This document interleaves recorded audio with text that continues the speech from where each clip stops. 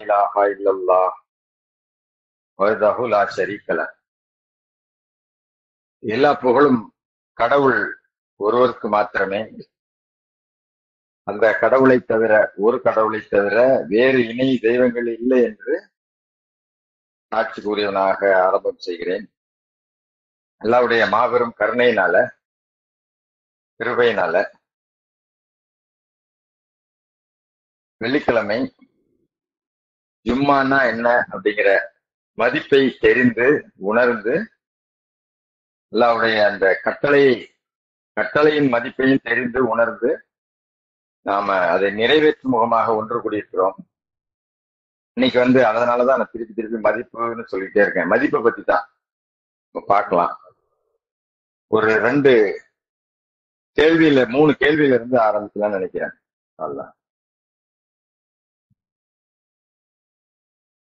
அதாவது நமக்கு நாமே அஹ், கேட்கக்கூடிய அறுபத்தி ஏழாவது அத்தியாயத்தின் பதினாறு பதினேழுல இருந்து.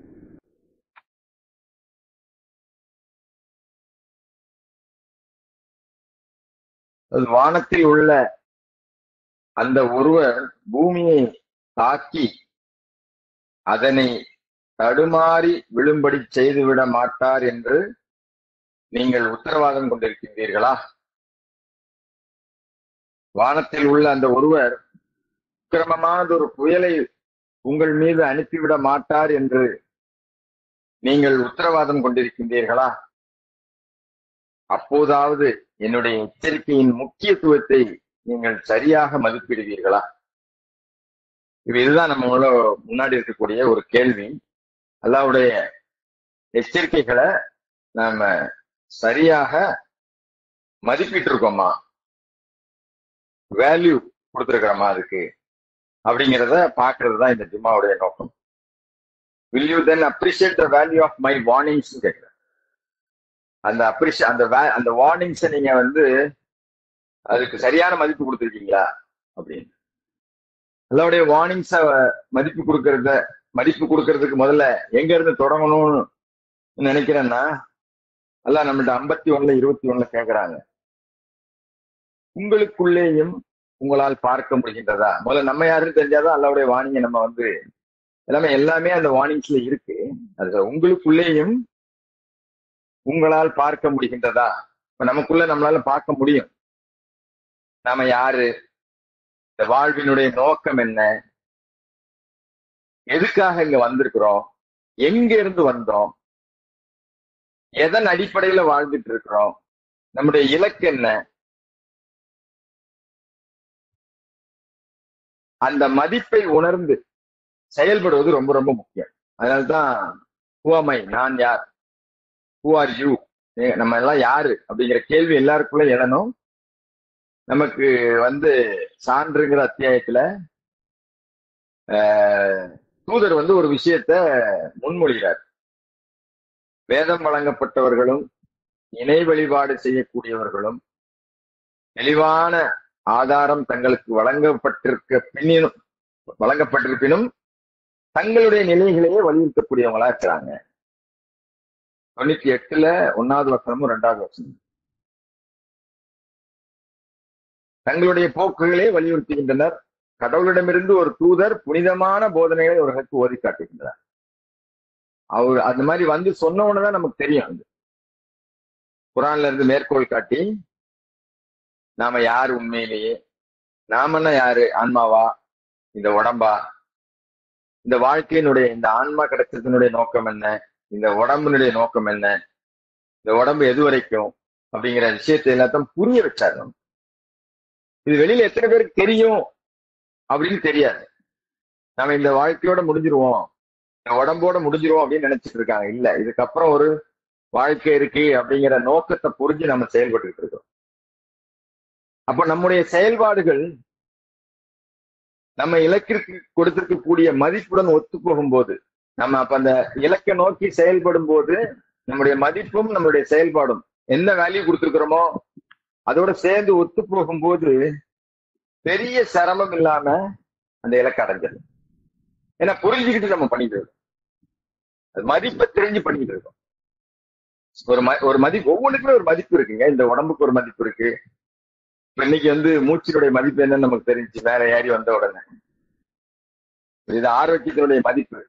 நம்ம புரிஞ்சுக்கிட்டோம். இது வந்து எதேச்சியா நடக்குது. ஏதோ ஒரு போர்டு ரிப்பேர் ஆச்சு எவ்வளவு ட்ரை பண்ணோம். நிறைய பேர் ஏற முடியாது அப்படின்னு சொல்லி. நான் ஒண்ணும் செய்ய முடியல.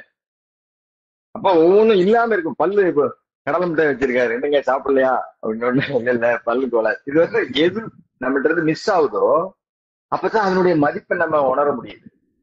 அப்ப அதை இருக்கும்போதே உணர்ந்துட்டோம் அப்படின்னா நம்ம அப்ரிஷியேட் பண்ணுவோம்ல. அதனால மதிப்பை உணர்வது வந்து மிக மிக அவசியம். அப்ப நம்முடைய இலக்கு நம்ம யாரு எதுக்கு வந்திருக்கிறோம் அப்படிங்கிற இந்த இலக்கினுடைய மதிப்பை உணர்ந்து நம்மளுடைய செயல்பாடு அதுக்கு ஒத்து போகும்போது நிச்சயமா சிரமம் இல்லாம நம்ம தடைஞ்சு அல்லது நம்பிக்கையாளர்கள் அச்சப்படவும் மாட்டாங்க துக்கப்படவும் மாட்டாங்க. ஏன்னா அவங்களுக்கு தெரியும். அவங்க நம்பியிருக்காங்க. இலக்கு என்னன்னு தெரியும் அதோடைய மதிப்பு என்னன்னு தெரியும். அதுக்கு தகுந்தாப்புல தங்களுடைய ப்ரியாரிட்டி தங்களுடைய அஹ், செயல்பாடுகளுடைய முக்கியத்துவத்தை மறுசீரமைச்சு வாழ்க்கையை அமைச்சுக்கிடுவாங்க. இந்த விஷயத்துல நமக்கு நாமே நம்ம நேர்மையா பரிசோதனை பண்ணி பார்க்கணும். நமக்கு நாமளே ஹானஸ்டா இல்ல உண்மையிலேயே மதிப்பை உணர்ந்திருக்கிறோமா? இல்லையா? அப்படின்னு பார்க்கணும். ஏன்னா நமக்குள்ள மதிப்பை உணரணும் அப்படின்னா முதல்ல நாம முதல்ல நான் சொன்னேன் இல்லையா ரெண்டு கேள்வி. அறுபத்தி ஆறுல பதினாறு பதினேழுல என்னுடைய அந்த கேள்வியை தான் திருப்பி கேட்கணும்னு நினைக்கிறேன். அப்போதாவது என்னுடைய எச்சரிக்கைகளின் முக்கியத்துவத்தை நீங்கள் சரியாக மதிப்பிடுவீர்களா எல்லாட்டிருந்து ஒரு எச்சரிக்கை வந்திருக்கு ஒரு நினைவூட்டல் வந்திருக்கு ஒரு வழிகாட்டுதல் வந்திருக்கு ஒரு கைடன்ஸ் வந்திருக்கு. இந்த மதிப்பை உணர்வதுங்கிறது வந்து ஒரு லைட் ஹவுஸ் மாதிரி. அது ஒரு டைரக்ஷனை காட்டும் நமக்கு. அல்லானா யாரு? அல்லாவுடைய வழிகாட்டுதல்னா எச்சரிக்கைகள்னா எப்படி இருக்கும்? எப்படி அது நம்மள்ட்ட வந்து சேர்ந்துச்சு? அதுக்கு நம்ம எவ்வளவு முக்கியத்துவம் கொடுக்கணும்? எவ்வளவு மதிப்பளிக்கணும்? இந்த போன் இருக்கு ஒரு விலை கொடுத்து வாங்குறோம். அதை கீழே போடாம பத்திரமா அதுக்கு ஒரு கவர் போட்டு மேல ஒரு ஸ்டிக்கர் ஒட்டி ரொம்ப பத்திரமா வச்சுக்கிறோம். இன்னும் முப்பது நாற்பதாயிரம் ரூபாய் ஆஹ், விலை இருக்கு அதுக்கு. அத மாதிரி நம்ம இதை வச்சிருக்கிறோமா நெஞ்சத்துல தலையில அப்படின்னு பாக்கணும் அதான் உண்மையான மதிப்பு கொடுக்கும். உண்மையிலேயே நம்ம ஏன்னா இது விலை மதிக்க முடியாது. இந்த போன் வந்து கொஞ்ச நாள் மூணு வருஷத்துல ரெண்டு வருஷத்துல காணா போயிடும் இல்லை செயல் இழந்துரும். ஆனா நம்மளுடைய ஆன்மா திருப்பி அல்லாட்ட போய் சேர்ற வரைக்கும் செயல் இழக்காம இருக்கணும் அப்படின்னு சொன்னா அதுக்கு சார்ஜ் கொடுக்கக்கூடியதுதான் இந்த எச்சரிக்கைகள். இந்த எச்சரிக்கைக்கு நம்ம அதுக்கான மரியாதையை கொடுத்துருக்குறோமா? அந்த மதிப்பை உணர்ந்திருக்கிறோமா? அப்படிங்கிற நாமளே மறுபரிசீலனை பண்ணும்போது ஹானஸ்டா பண்ணணும் நமக்கு. Be honest with yourself and clarify your value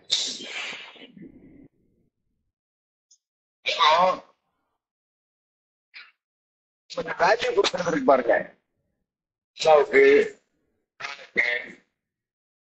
நம்மளுடைய தலை தகப்பனுக்கு உடன் பிறந்தவர்களுக்கு எல்லா சொன்ன கட்டளைகளுக்கு அந்த வேல்யூஸ் எல்லாம் வந்து எப்படின்னா இப்போ ஒரு பில்டர் பில்டர் கூட இங்க இருக்காரு. ஒரு ஆத்துல பாக்குறோம் மணல் கிடக்கு.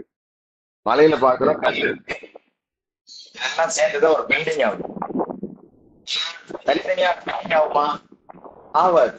அது அங்க ஆத்துல இருக்கும்போது அது வெறும் மண்ணு தான் எல்லாம் இருக்கும்போது அது வெறும் கல்லு தான் ஸ்கூல் தனியா இருக்கும்போது அது மண்ணெல்லாம் அப்படியே வச்சு கட்டி போயிடும் அது. தண்ணி அது கண்டிப்பா இருக்க வரைக்கும் தண்ணி. இது எல்லாத்தையும் மிக்ஸ் பண்ணி மாதிரி ஒரு காங்கிரீட் கட்டணமா கட்டும் போது நமக்கு நிலம் தருது உட்காந்து தொட முடியுது. சௌகரியமா படத்துக்கு வைக்கிறது. இத மாதிரிதான். நம்ம ஒவ்வொன்றுக்கும் வேல்யூ கொடுக்கும்போது நமது வாழ்க்கை என்கின்ற இந்த கட்டடத்தின் செங்கற்களாக இருப்பது ஒவ்வொரு விஷயம் ஒவ்வொரு நபர்களுக்கும் கொடுத்திருக்கும் மதிப்பின் அடிப்படையில தான். ஒருத்தர் இல்லாம ஒருத்தர் மட்டும் தனியா சரணடைந்தவனா ஆயிடுவேன். போயிடுவேன்னு நம்ம வந்து சொல்லவே முடியாது. சார்ந்துதான் இருக்கணும். ஒருத்தர் ஒருத்தர் சார்ந்து இருக்கணும். வயல் ஒரு வயல்ல பாம்பு இருக்குதுன்னா எலி இருக்கும் பாம்பு இருக்கும் வெள்ளத்துக்கு இருக்கும் எல்லாம் இருந்தா தான் நினைவிடும் எல்லாம் இருந்தா தான் சாப்பிட முடியும் எல்லாம் அப்படிதான் இந்த உலகத்தை படைச்சு எல்லாம். நாம நல்லாவே சார்ந்து இருந்தோம் அப்படின்னா நிச்சயமாகதான் கசப்பனை பணி வர்றது. நல்லாவே அறிய வேண்டிய முறைப்படி மதிக்க வேண்டியவாறு மதிப்பிடலை அப்படின்னு சொல்றாங்க. எண்பத்தி மூணுல நாலு முப்பத்தாறு நான் படிக்கிறேன் உங்களுக்காக. நம்மளை பத்தி இவ்வளவு நேரம் கேட்டோம். இப்ப நம்மளை சார்ந்து இருக்கிறவங்களை பத்தி எல்லாம் சொல்றாங்க அதெல்லாம் பல வகையில நிறைய விஷயங்கள் இருக்கு. இந்த மதிப்பீடுவதை பத்தி புராணம் எங்க திருப்பினாலும் நிறைய விஷயங்கள் நமக்கு திருப்பி திருப்பி ஞாபகம் விட்டது நினைவு விட்டது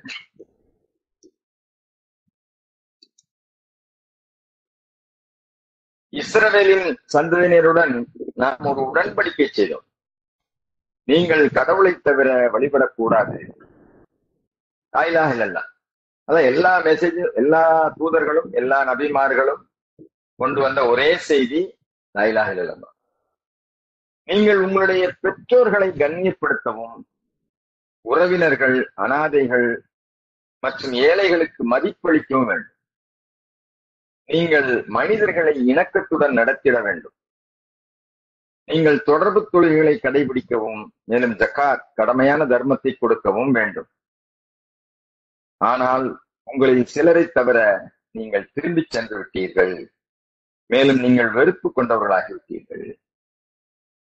நம்ம வந்து இந்த மேல சொன்ன கேட்டகரி தாய் தகப்பன் உறவினர்கள் அனாதைகள் ஏழைகள் இவங்களெல்லாம் எந்த பார்வையில பாக்குறோம் அதுதான் சொன்ன பி ஹானஸ்ட் யுவர் செல்ஃப் அப்படின்னு சொல்லுது. நம்ம நமக்கு நாமே நேர்மையா இருந்து பரிசோதனை பண்ணி பார்க்கணும். மட்டுமே அவர்களின் உணர்வுகளுக்கு மதிப்பளிக்கக்கூடிய வகையில் நாம நடக்க முடியும். நல்லா புரிஞ்சுங்க. நம்ம யார் கூட எல்லாம் சார்ந்து இருக்கிறோமோ அவங்களுடைய அவங்களுக்கு கரெக்டான வேல்யூ கொடுத்தா மட்டும்தான் அவங்களுடைய உணர்வுகள் என்ன அப்படிங்கறத புரிஞ்சுக்கிட்டு அதுக்கு தகுந்தாப்புல நம்ம வேலை செய்ய முடியும். தாய் தகப்பன ஏதாவது சும்மா இருங்க. சும்மா புழு புழு எதையாவது பேசிட்டே இருக்காதீங்க. அப்படிலாம் சொல்ல மாட்டோம். இவருக்கு எங்க அண்ணனுக்கு வேற வேலையே இல்லை. எப்ப பார்த்தாலும் புலம்பிட்டே இருப்பாரு. இதெல்லாம் நம்ம சொல்லக்கூடிய கேஷுவல் டாக்ஸ் ஆனா அல்ல என்ன சொல்றாரு? மதிப்பளிங்க.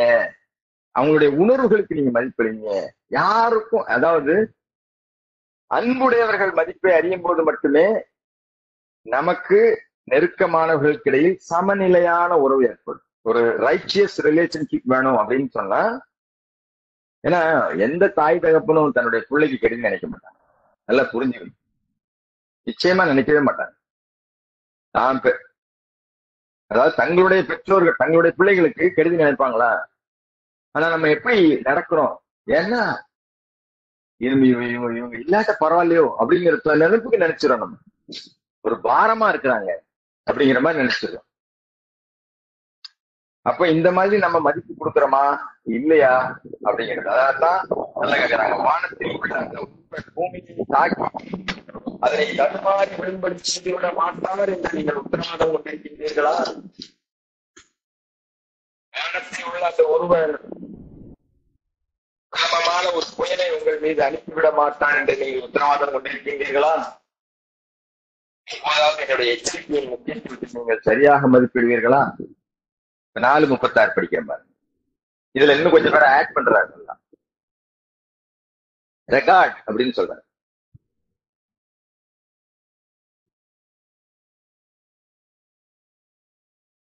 நீங்கள் கடவுளை மட்டும் வழிபட வேண்டும்.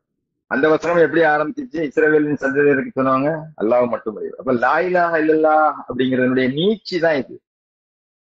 அப்ப அல்லாவை கருத்தில் கொள்ளுங்கள் இல்ல அல்லாவை மதிப்பிட வேண்டியவாறு மதிப்பிடுங்கள் அப்படிங்கிறதுக்கான விளக்கமா தான் இதெல்லாம் நம்ம பார்க்கணும் நினைக்கிறேன். நீங்கள் கடவுளை மட்டும் வழிபட வேண்டும். அவருடன் எந்த ஒன்றையும் இணையாக்காதீர்கள். பெற்றோர்கள் உறவினர்கள் அனாதைகள் ஏழைகள் உறவினரான அண்டை வீட்டார் உறவினர் அல்லாத அண்டை வீட்டார் நெருங்கிய கூட்டாளி பயணத்தில் உள்ள அந்நியர் மற்றும் உங்களுடைய ஊழியர்களை கவனித்துக் கொள்ள வேண்டும். காட்டிக் கொள்ளக்கூடிய காட்டிக் கொள்கின்ற ஆணவக்காரர்களை கடவுள் விரும்புவதில்லை. அதுல நாலு பேர் மட்டும்தான் சொன்னார். இதை கொஞ்சம் ஆட் பண்றாரு பாருங்க. யாருக்கிட்டெல்லாம் நீங்க வந்து கனி அதாவது கவனமா இருக்கணும் கவனிக்கணும் கவனிச்சீங்கன்னு சொல்றாரு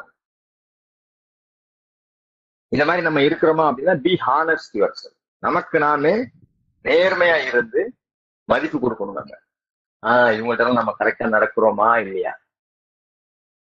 பேச்சுல கூட ஹர்ட்டிங் லுக் கூட இருக்கக்கூடாதுன்னு சொல்றாரு. ஒரு பயான்ல.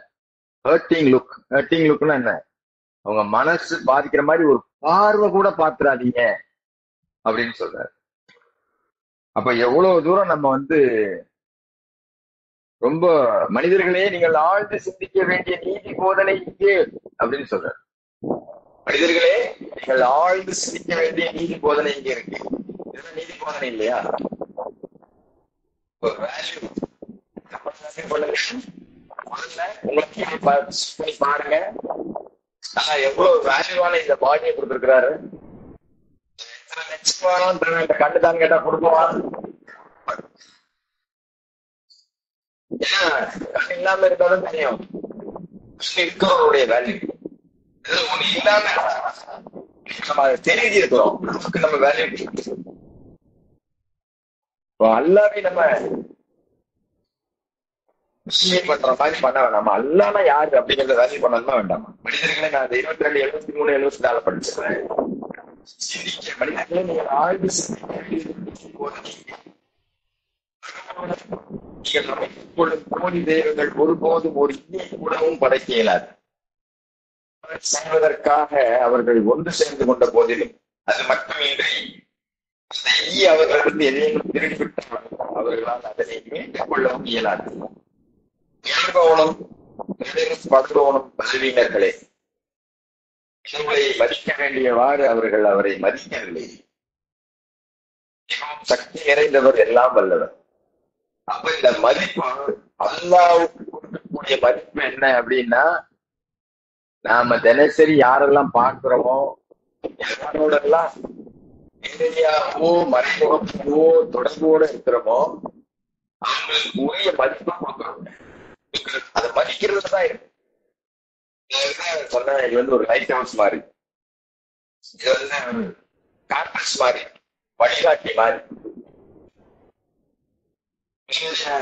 தர்ஷனிகள் பிஹேவியர் இருக்கியா வந்து நம்மளுடைய வேல்யூட ஏற்கனவே நான் சொன்னதுதான். அதோட ஒத்து போச்சு வைங்க. வேல்யூட சேர்ந்து ஒத்து போச்சுன்னா உண்மையான இன்னர் பீஸ் நமக்கு கிடைக்கும். நம்மள யார் நம்மளுடைய பீஸ் யாரும் டிஸ்டர்ப் பண்ண முடியாது. ஒரு மாதிரி அப்செட் ஆயிடுறேன். நான் ஒரு மாதிரி அப் அண்ட் டவுன் ஆயிடுறேன் அப்படின்னு யாருமே சொல்ல ஏன்னா நமக்கு தெரியும் நம்மளுடைய வேல்யூ என்ன அப்பமா நம்மளுடைய வேல்யூ என்ன ஒரு அர்த்தம் கொஞ்ச நாள். அவ்வளவுதான். ஒரு மரத்துல மரத்தடியில ஒரு பிரயாணத்துல நடுவுல தேவை இழைப்போம் அவ்வளவுதான். அதான் இருக்கக்கூடிய வேல்யூ இன்ஷால்லா நம்ம வந்து இன்னும் வசனங்கள் இருக்கு. இன்னும் நிறைய தெரிய வேண்டிய விஷயங்கள் இருக்கு. இன்ஷால்லா அதை நம்ம அடுத்த குத்துபால பார்க்கலாம். நம்மளுடைய ஆதி பாவத்திற்காக எல்லாவிடம் பாவம் மன்னிப்பு கேட்போம் தூபு இழந்தா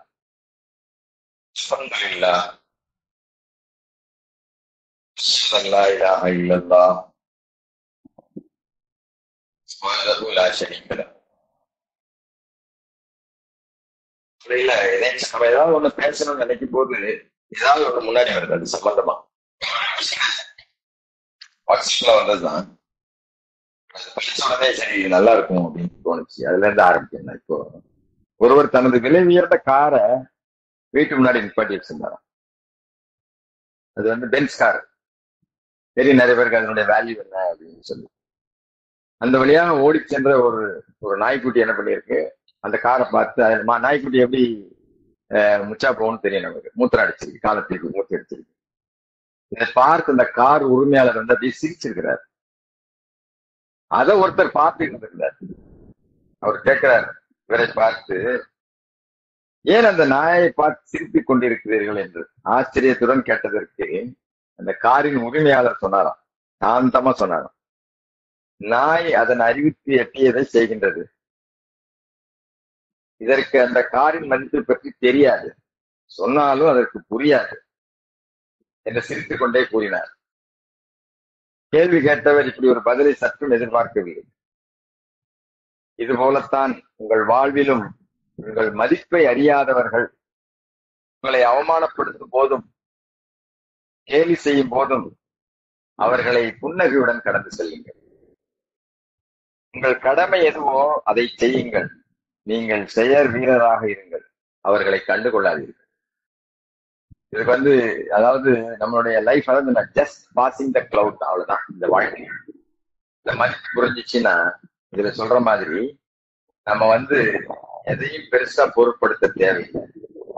அதாவது நாற்பத்தி ரெண்டுல நாற்பத்தி மூணு பொறுமையை மன்னிக்கக்கூடிய குணம் தான் குணநலனின் மெய்யான ஆஹ், குணத்தை பிரதிபலிக்குது 42, 42.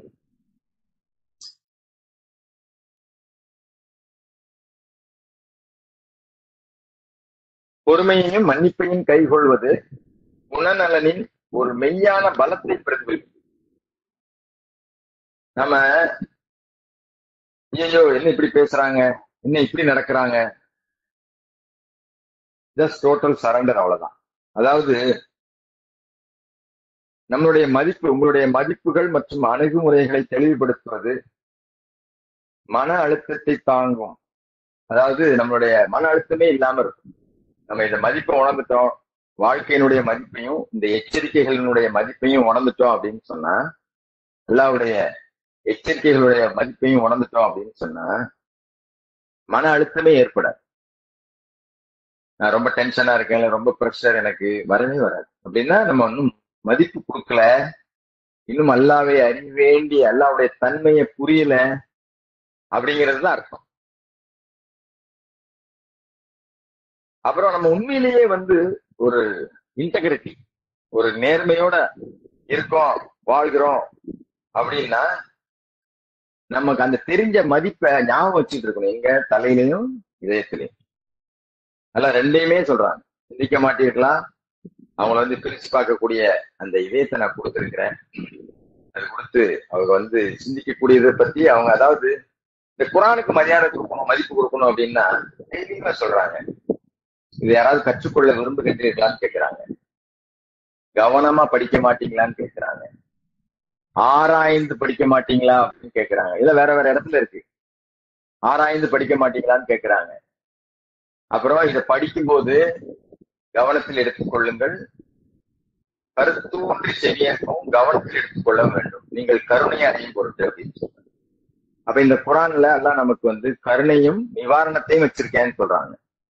இந்த மாதிரி மடிப்பு கொடுத்து இதை படிக்கிறோமான்னு பார்க்கணும். அதுதான் ரொம்ப ரொம்ப நம்ம முன்னாடி இருக்கக்கூடிய சவால். இப்ப நான் வந்து அந்த வசனத்தை முழுசும் படிச்சிடறேன் ஆயிரத்தி தொண்ணூத்தி ஒண்ணு. படிக்கிறேன்.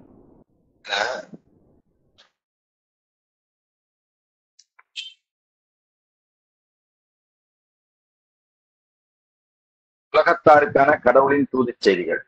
உலகத்தில் இருக்கக்கூடிய எல்லாருக்குமான கடவுளின் தூதுச் செய்திகள். கடவுளை மதிக்க வேண்டியவாறு அவர்கள் அவரை ஒருபோது மதிக்கவில்லை. அதனாலதான் இது வந்து நாம மதிச்சிருக்கோமா இல்லையா? அல்லாவோட தன்மையை உணர்ந்திருக்கிறோமா? இல்லையாங்கிறத மறுபரிசீலனை செய்யணும். அதுக்கு காலம் தாழ்த்த வேண்டியதில்லை. இட் ரைட் நவ் இப்ப பண்ணிக்கலாம். ஆஹ் இப்பத்துல இருந்து நான் இதை செயல்படுத்துவேன் அப்படின்னு நம்ம முடிவு பண்ணிக்கலாம். எனவே அவர்கள் கூறினார்கள் மாநில இனத்தவர் எவருக்கும் எதனையும் கடவுள் வெளிப்படுத்துவதில்லை. குருவீராக அப்படி என்றால் மக்களுக்கு ஒளியையும் வழிகாட்டலையும் கொண்டதாக மோசஸ் கொண்டு வந்த வேதத்தை வெளிப்படுத்தியவர் யார்? அதில் உள்ள இருமளவு நிலை மறைந்திடம். அதே சமயம் நிறைய விஷயத்தை அதே சமயம் அதனை பிரகடனப்படுத்துவதற்காக காகிதத்தை அதை நீங்கள் எழுதுகின்றீர்கள். நீங்கள் ஒருபோதும் அறிந்திராதவற்றை நீங்கள் கொடுக்கப்பட்டீர்கள் நீங்களும் உங்களுடைய பெற்றோர்களும் கூறுவீராக. கடவுள் தான் அதனை வெளிப்படுத்தியவர். பின்னர் அவர்களுடைய அலட்சிய அலட்சியத்தை விசாரிக் கொண்டிருப்பவர்களாக அவரை விட்டு விடுகிறார்கள் நிச்சயமாக நம்ம அல்லாவை கருத்து போட்டது என்றால் அப்படியே அல்லா விட்டுருவாங்க அதனால நம்ம மதிப்பளிக்க வேண்டிய விதத்துல இந்த அல்லாவுடைய வழிகாட்டுதலுக்கு மதிப்பிக்கிறோமா இல்லையா அப்படிங்கிறத நம்ம பார்க்கணும். நாம எப்போ அல்லாவிடத்துல மதிப்புடையவங்கள ஆகும் அப்படிங்கிறது புரிய நம்ம சொல்றோம். எப்போ மதிப்புடைய வாங்கணும்னு சொன்னா you attain value at my lord only through your work இருபத்தி அஞ்சுல எழுபத்தி ஏழு அதை ஒர்ஷிப்ப முழுமைப்படுத்தணும் அப்படின்னா இத புரியாம நான் ஒர்ஷிப் பண்றேன்னு சொல்ல முடியும். கூறுவீராக உங்களுடைய வழிபாட்டின் மூலம் மட்டுமே என் இரட்சகரிடம் நீங்கள் நன்மதிப்பை அடைகின்றீர்கள் ஆனால் நீங்கள் நம்ப மறுத்துவிட்டால் தவிர்த்து விட முடியாத பின் விளைவுகளுக்கு நீங்கள் உள்ளாகிறீர்கள் அப்போ அல்லாவ நம்ம அல்லாவுக்கு செய்யக்கூடிய வழிபாட்டின் மூலமா தான் நன்மதிப்பு செய்ய முடியும். வழிபாடுன்னா வாழ்க்கையே வழிபாடா மாறணும். வாழ்க்கையே வழிபாடா மாறணும். தான் தொடர்ந்து நினைவூட்டுது அல்லாவுடைய கருணை உதாரணம் நற்செய்தி நல்லாவிடமிருந்து வந்து ஒரு நிவாரணமா இருக்கு கருணையா இருக்கு அதனால இதுக்கு நம்ம முக்கியத்துவம் கொடுக்கணும் அப்படிங்கிறதுதான் இந்த நோக்கம் அல்லாவை எல்லாம் நம்ம பார்க்கணுங்க அல்லாவை நம்ம நம்பி இருக்கோம் அதை புரிஞ்சுக்கணும் இப்போ வந்து நம்ம கருத்தில் பண்ணணும் அல்லாவுக்கு மதிப்பு கொடுக்கணும் அல்லாவுக்கு ரெஸ்பெக்ட் பண்ணணும் வேல்யூ கொடுக்கணும் அப்படின்னு சொன்னா தேசிக்கு உபதேசத்துக்கு வழிகாட்டுறதுக்கு நற்செய்திக்கு நம்ம எவ்வளவு ரெஸ்பெக்ட் கொடுக்குறோமோ குரான் படிக்கும்போது சொல்றாங்க. தொடங்கும் போது நாம எல்லாம் கூட பேசுறோம். குரான் படிக்கும்போது அல்லா நம்ம கூட பேசுறாங்க. உன் சிஷனத்தோட நம்ம படிக்கிறோமா பாக்குறோமா அப்படிங்கிறத நம்ம பார்க்கணும். சாதாரண போனுக்கு ஒரு எம்எல்ஏக்கு ஒரு எம்பிக்கு ஒரு சீஃப் மினிஸ்டர் கொடுக்கக்கூடிய முக்கியத்துவத்தை நாம அதை விட மேலா. அதான் அவர் சொல்றாரு. ஒரு ஒரு உதாரணத்துக்கு சொல்றாரு. உங்க ஓனர் உங்க முதலாளி வந்து சொல்றாரு. உங்களுக்கு நிறைய சம்பளம் கொடுக்குறாரு. சொல்றாரு அடுத்த பத்து நாளைக்கு நீ மூன்றரை மணிக்கு வரணும்ப்பா. அப்படின்னு சொன்னா நீ போவியா போக மாட்டியா? ஆஹ் கண்டிப்பா போவேன். படைச்ச ரபுல் ஆலமின்னு சொல்றாரு டெய்லி சூரிய உதயத்துக்கு முன்னாடி தொழுன்னு சொல்லி. தொழுகிறோமா இல்லையா? நாம இந்த செயல்பாட்டுக்கு அதாவது அல்லாவுடைய அந்த வார்த்தைக்கு மதிப்பு கொடுத்தோம்னா நம்மள யாரும் அலாரமா வச்சுட்டாரு? எழுப்பிலாம் விட தேவையில்லை. ஏன்னா ஒரு ஒரு ட்ரெயினுக்கு போனாலும் சரி ஒரு பிளைட்டுக்கு போனாலும் சரி யாரும் எழுப்பி விடுறதே இல்லை. நம்மளே தான் எந்திக்கிறோம். தூங்குறதே இல்லை நம்ம. சரியான நேரத்துல போய் முன்னாடியே தூங்கிடுறோம். அப்போ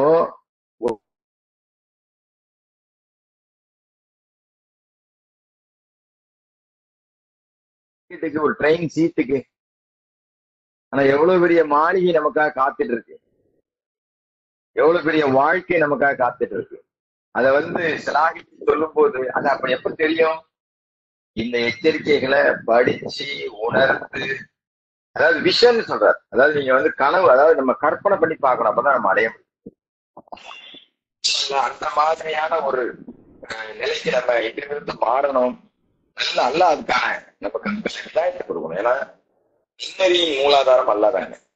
மன்னிப்பின் மூலாதாரம் அல்லாதான். வரைக்கும் நடந்த விஷயத்துக்கு vision all the manifestation of values என்னென்ன வேல்யூ இருக்கு? நான் சொர்க்கத்துல இருக்கிறேன். அப்போ நாம வந்து நான் தவறே செய்ய மாட்டேன் தூபில எல்லாம் சொல்றோம். நீ தவறே செய்ய மாட்டேன்னு உறுதியா இருக்கிறேன் அல்ல. இனி இணையத்துங்கிற தவறை செய்யவே மாட்டேன்.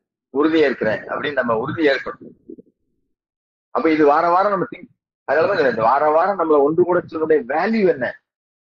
பக்கத்துல ரெண்டு பேரையா பார்த்து புதுசா இருந்த நபர்களை சந்திக்கணும் சிரிக்கணும் ஏதாவது ஒரு அதாவது ஒரு நலம் விசாரிக்கணும். அப்படியே சும்மா கூட வேல்யூ நம்ம கொடுக்குறோம். ஏதோ பொம்மை மாதிரி வாரம் பொழுது முடிஞ்சோட போயிடும் புரிந்து கொள்ளுதல். இஸ்லாம் தரநடைதல்ங்கிறது வந்து தரநடைதலுக்கு ஒரு வேல்யூ இருக்கு. அவங்களாம் எனக்கு தெரியாது. அதாவது உங்களுக்கு வந்து ரொம்ப நாள் பழகினாதான் நட்புங்கிறதெல்லாம் கிடையவே கிடையாது. நம்ம எல்லாம் ஒரே கருத்துல இருக்க போய் ஒரு ஒரு கொள்கையில ஒன்னா இருக்க போய் அங்க வந்திருக்கோம். கிட்ட வரமாட்டோம். அதனால இதுல நம்பிக்கையான ஒரு குடும்பத்தின் அங்கத்தினர்கள்னு சொல்றாரு அப்போ அதை நம்ம இங்க வந்து மேனிஃபெஸ்டேஷன் மேனிஃபெஸ்டேஷன் நிகழ்த்தி காட்டுறோமா நிகழ்த்துறோமா அப்படிங்கிறத பி ஹானஸ்ட் நமக்கு நாமே ஹானஸ்ட் நேர்மையா இருந்து அதுல எல்லாம் வரல. அதாவது வேல்யூ நிறைய இருக்கு. ஒவ்வொரு விஷயத்தையும் தனித்தனியா பிரித்து பிரித்து பயணத்து பயணம் சொல்லலாம்.